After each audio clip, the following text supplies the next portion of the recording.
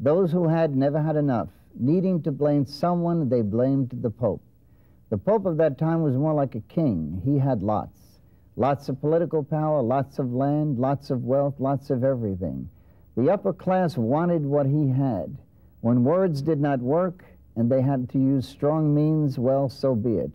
Conditions deteriorated to such violence the papacy was forced to flee for its life, from Rome to Perugia near Assisi and then to Avignon. Forli of yesterday and today has always been a fairly large city.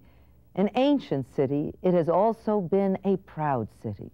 Located near Bologna, where some of the finest and first universities began in Europe,